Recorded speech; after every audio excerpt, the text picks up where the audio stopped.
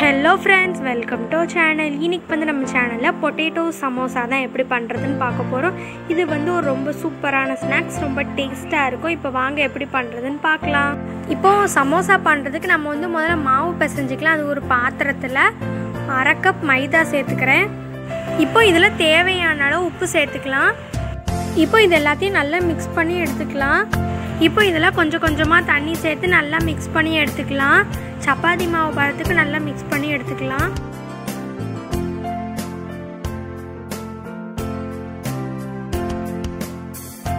இப்போ மாவை வந்து நல்லா பிசைஞ்சாச்சு. இப்போ இதில் ரெண்டு டேபிள் ஸ்பூன் எண்ணெய் சேர்த்து நல்லா மிக்ஸ் பண்ணி இதை வந்து ஒரு பத்து நிமிஷம் நல்லா ஊற வைக்கணும்.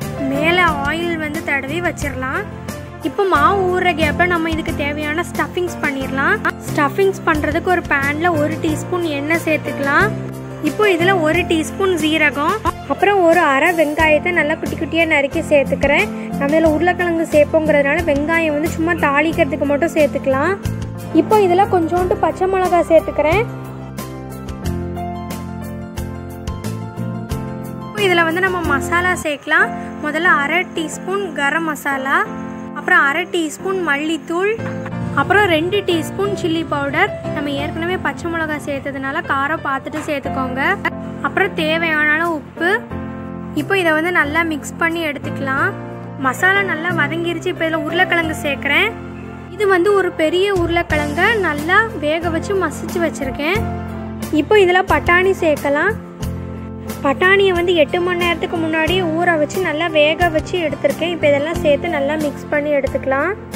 உங்களுக்கு ஸ்டஃபிங்ஸில் கேரட் பீன்ஸ்லாம் எல்லாம் பிடிக்கணும் அது கூட சேர்த்து பண்ணிக்கலாம். வெங்காயம் வதக்கும் போதே அதையும் சேர்த்து வதக்கி இப்படி பண்ணி எடுத்துக்கலாம்.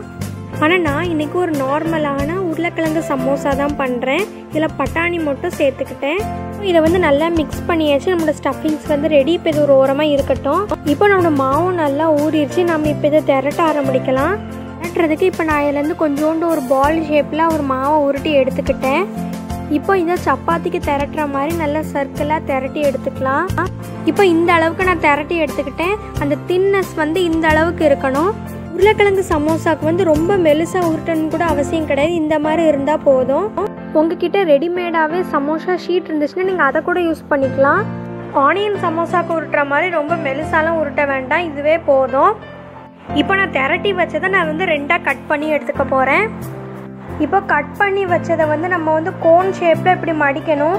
இப்படி கோனாக மடிச்சுட்டு நம்ம ரெடி பண்ணி வச்சுருந்த பொட்டேட்டோ ஃபில்லிங்லேருந்து அதை வந்து அதில் கொஞ்சோண்டு எடுத்து வைக்கணும். வச்சு அதை வந்து நம்ம ரேப் பண்ணிக்கலாம்.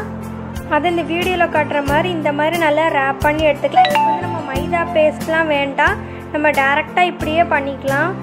இப்போ இதே மாதிரி எல்லா சமோசாவையும் ஷேப் பண்ணி எடுத்துக்கலாம். இப்போ நம்ம ரெடி பண்ணி வச்சுருக்கிற சமோசாவை பொரிக்கிறதுக்கு நான் வந்து ஆயிலை வந்து ஹீட் பண்ணிட்டேன். இப்போ இதில் சமோசாவை வந்து ஒன்று ஒன்றா போட்டு நல்லா ஃப்ரை பண்ணி எடுத்துக்கலாம்.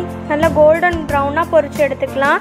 இப்போ சமோசாவெல்லாம் பொறிச்சு எடுத்தாச்சு. நம்மளோட பொட்டேட்டோ சமோசா வந்து ரெடி கடையில் கிடைக்கிற மாதிரி சூப்பராக இருக்குது சமோசா பண்ணுறது கஷ்டமே இல்லை. ரொம்ப ஈஸியாக பண்ணிவிட்டு நீங்களும் கண்டிப்பாக வீட்டில் ட்ரை பண்ணி பாருங்கள் பாய் பாய்